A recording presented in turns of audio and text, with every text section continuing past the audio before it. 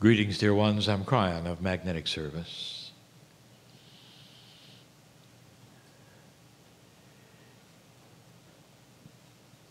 The voice you hear indeed represents the energy of the creative source. That is God to some, spirit to others, whatever you want to call it. We have discussed what the creative source is and what it is not. A benevolent source that knows you. Unbelievable to some that the human being individually would be known by the one or many, the soup, the creation that was responsible for setting the universe in motion. And the reason for this personal touch, you might say, is because in you is part of the Creator. We've told you this before. The system is complete because you are part of God. It's important, especially in this new energy, that you really cognize this and feel this. We go back again to the ancients to see what they would say. For instance, what is the first organized spiritual system on the planet thousands of years ago? What was their first intuition about who humanity was? And the answer is God inside. There are still cultures, many of them, millions of individuals on the planet who would greet you with a namaste, the, the, the acknowledgement of my God inside me greets the God in you. God inside is not a foreign concept. Do you realize the connection that is possible here? Dear ones, with the DNA working at the degree it is, the shallowness of all of it, as you progress and as you have an elegance of the divine evolvement which is at hand, the first thing that's going to happen is that connection's going to get better. And the God inside becomes the God outside and inside. But for now, I want you to really, really cognize that you've come into this planet with the Creator inside you. This is reasonable and logical for the test of the planet, for the souls that have to come here and work the issue. There has got to be creation in each of you. If that's the case, I'm going to ask the big question of the evening.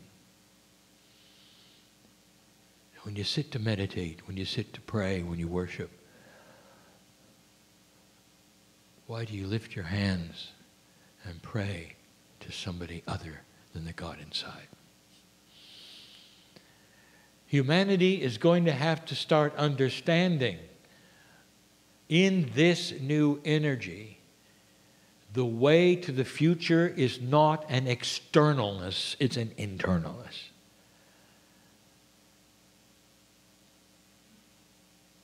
Look at what has happened and what it's become. The God inside from the ancients has become the God outside. You didn't just remove God from your bodies in this society. You made it so humans were useless and worthless and born dirty and had to, to grovel and crawl, even to, to be noticed by this Creator. It's a disservice, it's a dysfunction to the entire body when God is inside. The evolution of the human spirit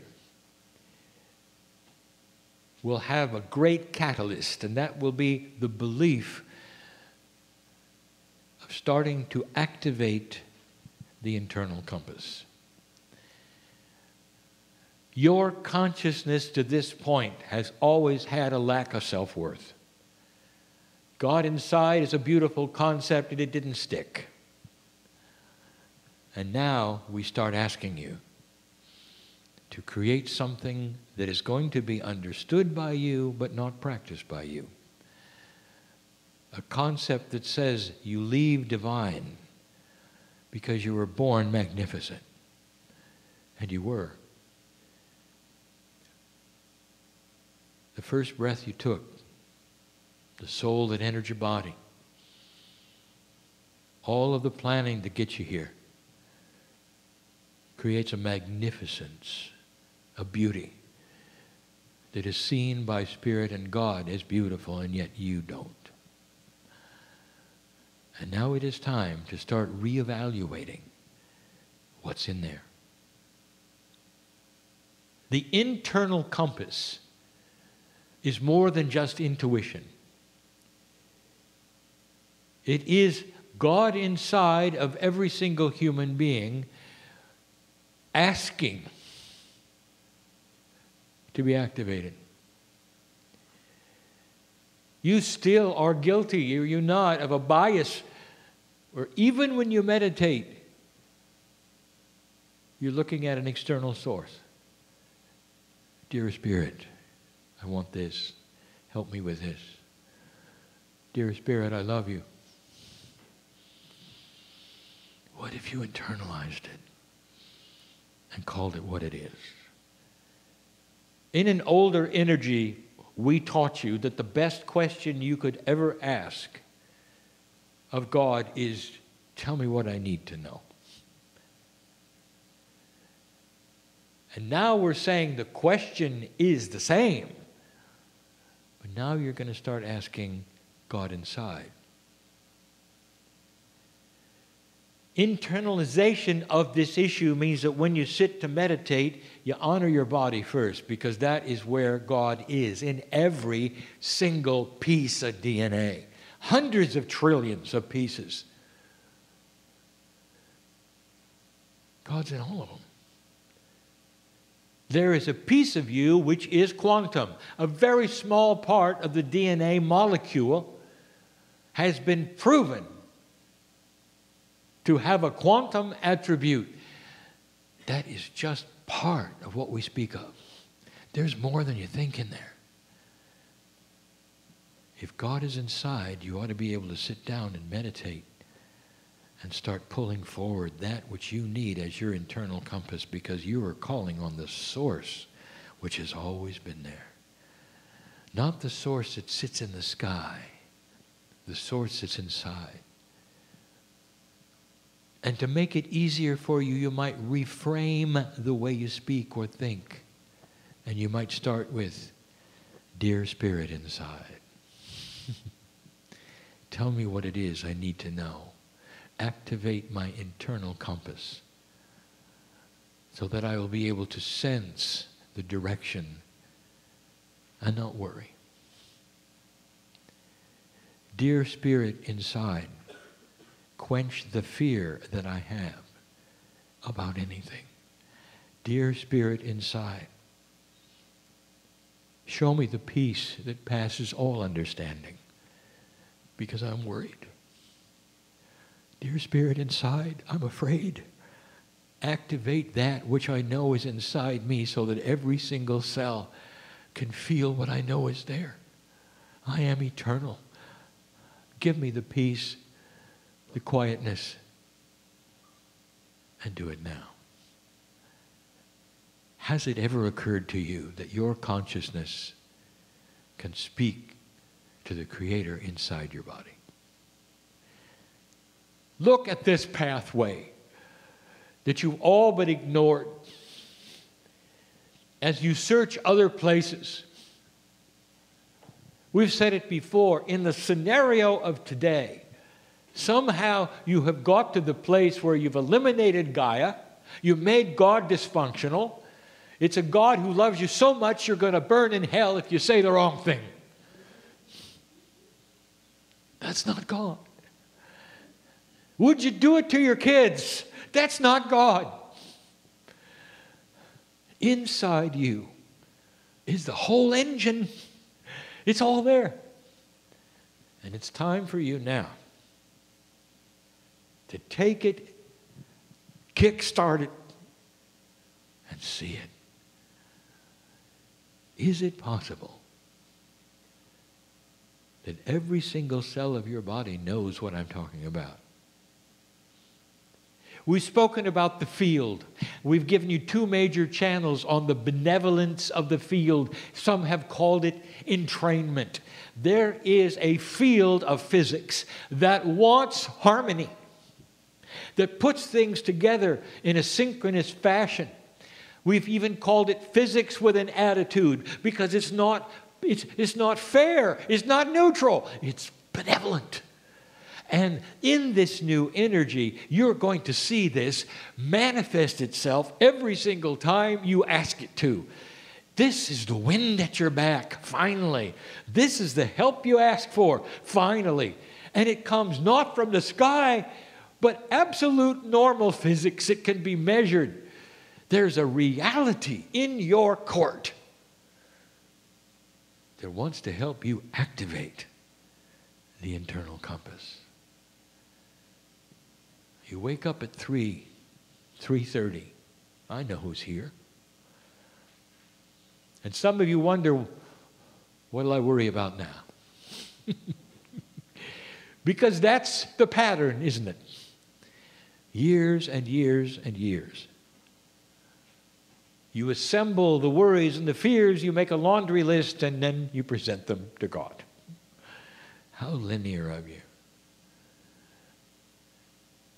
What if you woke up at three and said, Thank you, Spirit, internally for waking me up? Dear God inside, show me why I'm awake. Oh, I see. So you could hold my hand and tell me you love me. So I could go back to sleep and be more peaceful than I ever was. Thank you, God inside. There is no thing, no thing too great for the God inside. No matter what you're feeling, no matter what anxiousness you have, no matter what is there that you think may be even permanent, no matter what you're going through, there is a bridge to the God inside that will wipe it away, and the peaceful river of love will flow through you like it never has before. People will see it in you. People experiencing some of the things, things you have to experience will see it in you because you've mastered it. You discovered where God is. And the irony of it, you've just returned to the past. The ancients knew it all along. And now you're just reawakening some of the most profound knowledge of humanity. It hasn't even been hidden. It's just that you had to get to the place where you wanted to see it, to awaken it. Part of the spiritual awakening in this new energy is awareness of things that are there that you didn't see before. Of you accepting concepts that you never considered before of having the thought that perhaps they belong to you instead of to a guru or, or the channeler. That indeed all of the equipment for everything we're talking about is already in place. It's been sleeping a long time. Sleeping. The whole idea of awakening something that's been asleep is no more just a metaphor, it is reality. But that's the way it feels. You walk out of the room with a new awareness, but perhaps a new paradigm. Stop looking outside yourself for answers because they've always been in you. Meditate the same as you always have meditated. But what you're now doing is balancing internally that which will manifest externally in your actions, in your consciousness, in how you treat others, in how you greet the God inside of anyone who comes in your path. We have spoken over and over about compassionate action. We've talked about a change of consciousness that makes your actions different. We said this leads to healthy things. It leads to longer life. This is the evolvement of the new human being. But this is a major hurdle. Listen to the way you meditate and pray. Add the word inside every time you mention Spirit, every time you mention God. Dear God inside, dear Spirit inside. And your body is going to get used to this. It's going to own it. It's going to start understanding you have cognized the divine creator inside your cells. It's step one to so many things that you have that you didn't think you could do. Now I know who's in the room. I know who's listening. What have you got right now that is so sorrowful or that creates worry and fear? What is it about humanity that lets you project the worst into something worse? and so, whatever it is that you fear, then you create a bigger monster. This is the old energy paradigm that will completely and totally be wiped away by dear God inside. Darkness cannot exist when love rules.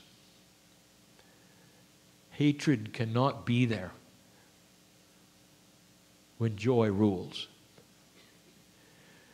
Sorrow cannot exist when laughter is the king. And this is the teaching of the day, of the year, of the century. You turn the corner, dear God inside, and you join the ancients who knew it from the beginning, for it was intuitive. And then, when you have time, and when you want to, I want you to walk outside to where the trees are and the dirt, not the cement, where your feet can touch the dirt. And you can say something that Gaia has wanted to hear for centuries. I want you to say, My God inside says, Welcome home. You're going to start collecting energy from the source of Gaia itself because that is your partner here. You cannot survive without it. We're in a place where there's many farmers. You ask them, they know. Farmers have a tendency to go barefoot when no others would. and you'd say, Why would you do that? And they would say, Because I want the dirt between my toes. Because I can feel that which is the energy of the dirt of the divine. And it soothes my soul. It's the step after God inside. No matter where you live, you can do this. You can go where it exists and do this. And I'll tell you, you're going to receive a revelation of energy when you start including Gaia yet again. But, dear ones, first is God inside. The externalization of where and how God works converted to the internalization of the reality of how God works is the key. Did you know that when you start that, your biology starts to shift? Did you know that your chemistry will start to shift? Did you know that the benevolence of the field will have a greater impact upon your health because suddenly you are allied with things that you never were before. If God is external, how are you ever going to internalize your health? If God is external, how are you ever going to have the peace inside? If God is external, what's it all about? Why do you exist? The logic of this should be clear because there is no external. You are God. And collectively, your consciousness will change the planet because you are God.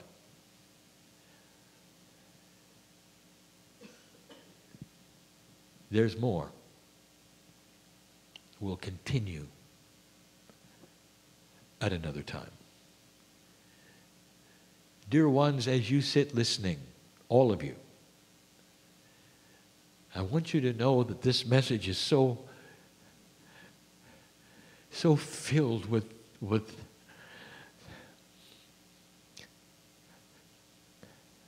a word that my partner can't conceive of because it doesn't exist.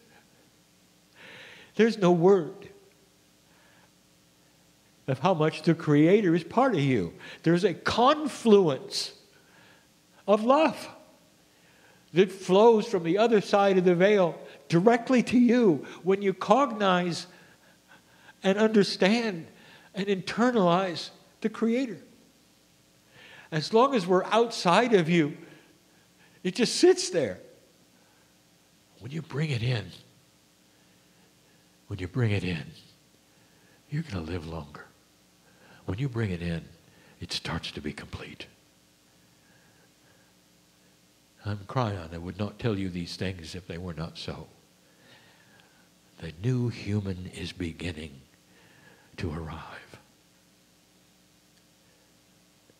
And so it is.